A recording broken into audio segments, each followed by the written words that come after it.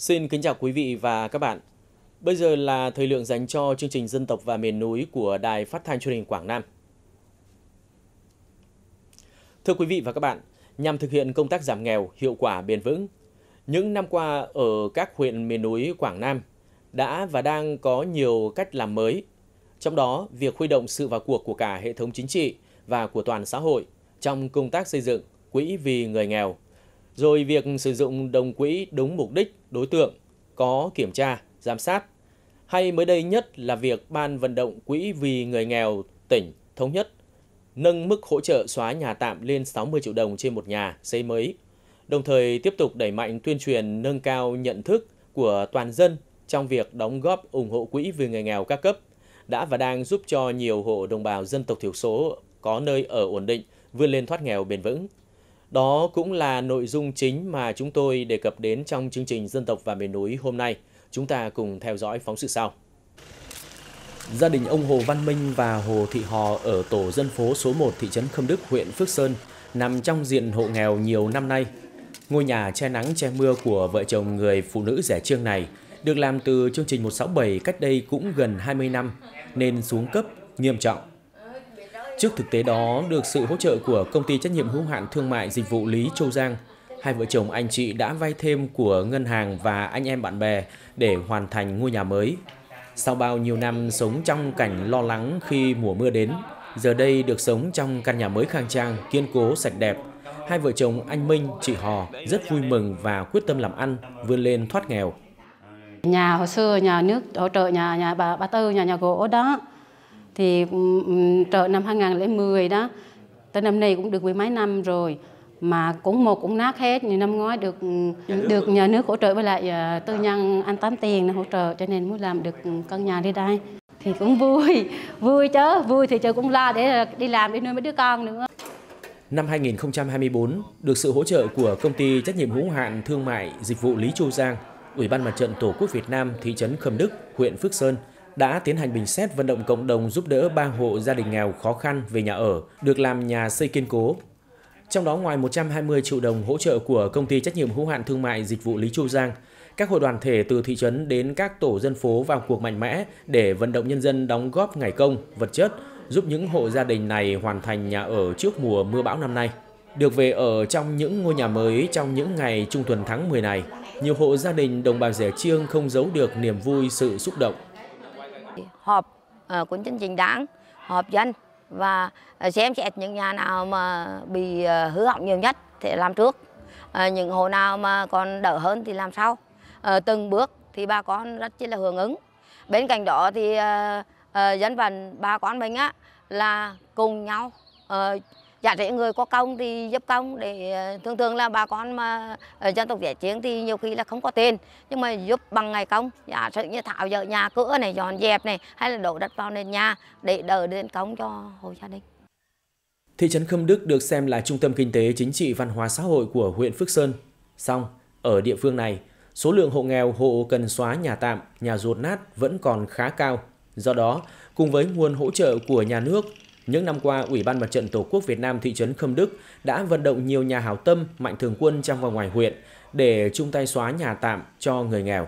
Bên cạnh đó, Ủy ban Mặt trận Tổ quốc Việt Nam thị trấn Khâm Đức cũng đã kêu gọi trong toàn thể cán bộ, công chức viên chức, người dân trên địa bàn chung tay chia sẻ bớt khó khăn cho hộ nghèo, hộ đồng bào dân tộc thiểu số theo đúng tinh thần lá lành đùm lá rách, lá rách ít, đùm lá rách nhiều, từ đó mặc dù bà con vẫn còn khó khăn nhưng cũng đã đóng góp vào quỹ vì người nghèo hàng chục triệu đồng, hỗ trợ hàng trăm ngày công để giúp xóa nhà tạm nhà ruột nát cho hộ nghèo, hộ đồng bào dân tộc thiểu số. Khi có cái à, nguồn thì à, à, Ủy ban thị phân bổ về khu dân cư à, để tổ chức họp sát đối tượng là hộ nghèo, hộ cận nghèo. À, từ đó thì có cái nguồn hỗ trợ nó đảm bảo đúng đối tượng. Thì Đảng Công Đức đã à, vận động à, xây mới và sửa chữa trên 20 ngôi nhà à, với nguồn kinh phí vận động thì trên 1 tỷ đồng. À, qua đó thì à, à, đã hỗ trợ à, cho những hộ nghèo, hộ cận nghèo trên địa bàn thị trấn Thâm Đức à, xóa nhà tạm, nhà dột nát trên địa bàn và phấn đấu đến năm 2025 thì thị trấn à, cơ bản hoàn thành cái việc xóa nhà tạm trên địa bàn. Tại huyện Phước Sơn, những năm gần đây, ngoài sự vào cuộc của chính quyền cơ sở, thì các công ty doanh nghiệp đã đồng hành với Quỹ vì người nghèo. Ngoài ủng hộ kinh phí hàng năm, thì các doanh nghiệp còn trực tiếp nhận hỗ trợ xóa nhà tạm cho hộ nghèo, hộ đồng bào dân tộc thiểu số. Bên cạnh đó, các đơn vị này còn hỗ trợ sinh kế, giải quyết việc làm cho thanh niên nam nữ dân tộc thiểu số tại huyện Phước Sơn. Qua đó, đã giúp nguồn quỹ vì người nghèo ở Phước Sơn phát huy hiệu quả, thật sự là chỗ dựa vững chắc cho đồng bào nghèo vươn lên thoát nghèo bền vững. Đây là những hình ảnh chúng tôi ghi lại tại buổi bàn giao 17 ngôi nhà tại thôn Trà Văn A, xã Phước Kim, huyện Phước Sơn. Đây là những hộ dân bị trôi hoàn toàn nhà cửa do cơn bão số 9 năm 2020 gây ra.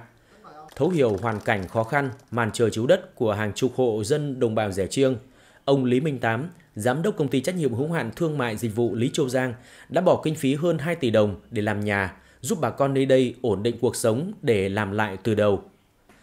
Từ năm 2020 đến nay, ông Lý Minh Tám và công ty trách nhiệm hữu hạn thương mại dịch vụ Lý Châu Giang còn đồng hành và giúp cho 19 hộ dân nghèo ở Phước Kim và thị trấn Khâm Đức làm nhà mới.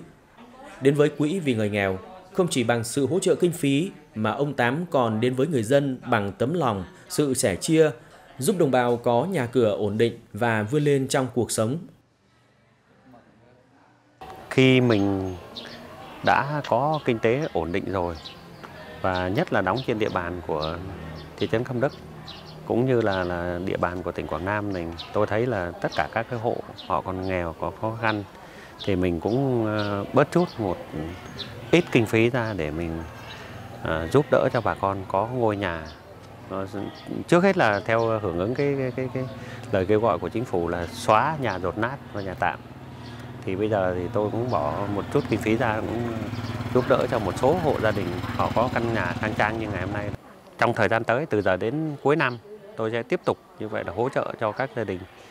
là là nghèo khó thêm một số căn hộ nữa có thể nói chính sự chỉ đạo quyết liệt của cấp ủy Đảng chính quyền địa phương, sự vào cuộc đầy tinh thần trách nhiệm của các doanh nghiệp và cộng đồng xã hội,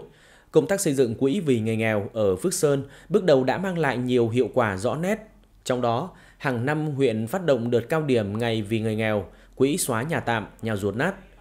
Qua các đợt phát động đã nhận được sự ủng hộ nhiệt tình của các doanh nghiệp và đông đảo bà con nhân dân. Trong đó, nguồn quỹ huy động được năm sau cao hơn năm trước và cuộc vận động ngày càng lan tỏa đến mọi tầng lớp nhân dân trên địa bàn. Cùng với việc huy động quỹ thì việc sử dụng quỹ đúng mục đích, đối tượng thật sự phát huy hiệu quả, giúp cho người nghèo vươn lên ổn định cuộc sống. Tại xã Phước Chánh, huyện Phước Sơn, từ nguồn quỹ của Ngày vì người nghèo của huyện, xã đã hỗ trợ làm nhà đại đoàn kết cho những hộ nghèo khó khăn trên địa bàn.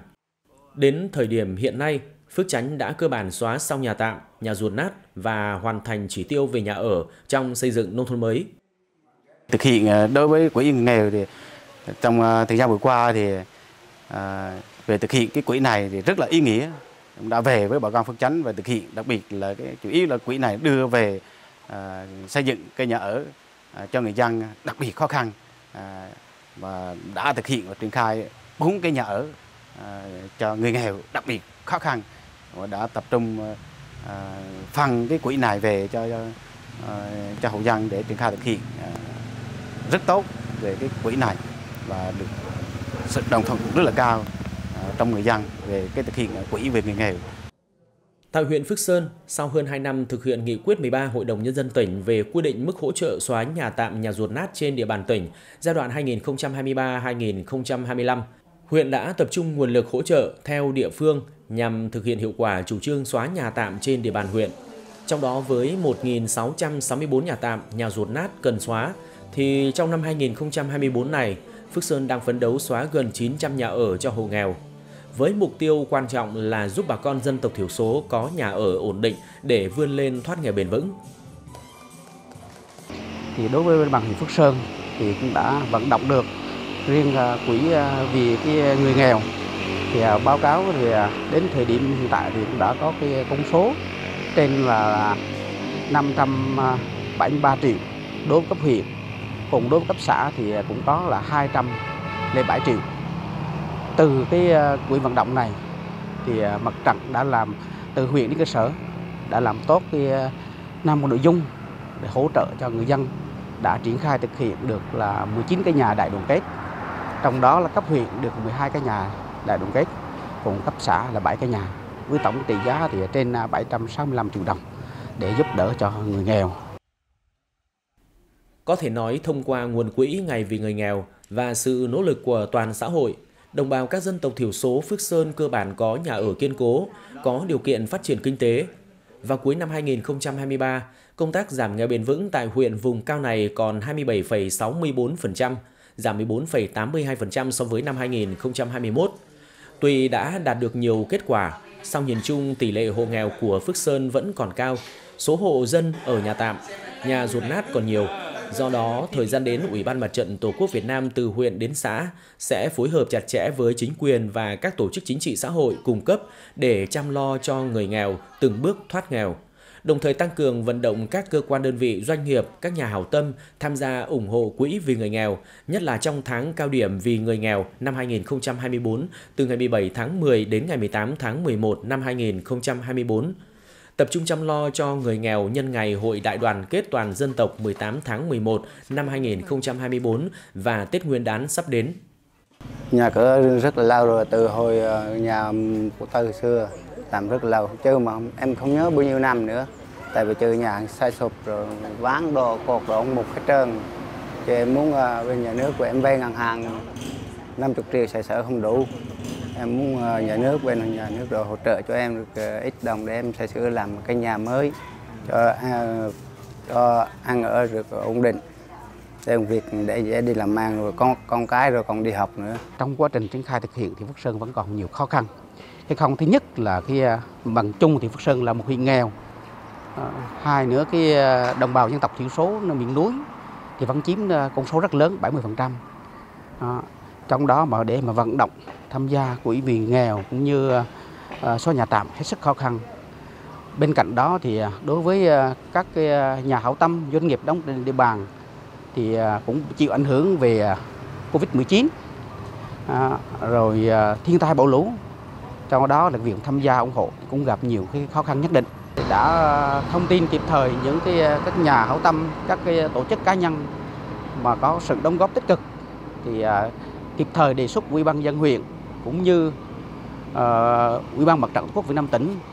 hỗ trợ khen thưởng kịp thời để động viên cho các cái ờ, tập thể cá nhân cũng cũng như các nhà hảo tâm để mà cùng chung tay uh, hỗ trợ cho cái người nghèo Phước Sơn để đời sống của nhân dân cũng như hộ nghèo có được cái ổn định cuộc sống.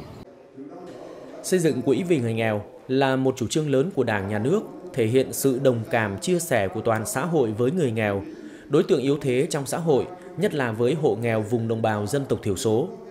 Với huyện Phước Sơn, bằng nhiều cách làm hay, mới, phù hợp với điều kiện kinh tế xã hội của một huyện miền núi, việc xây dựng quỹ vì người nghèo đã đạt được nhiều kết quả cao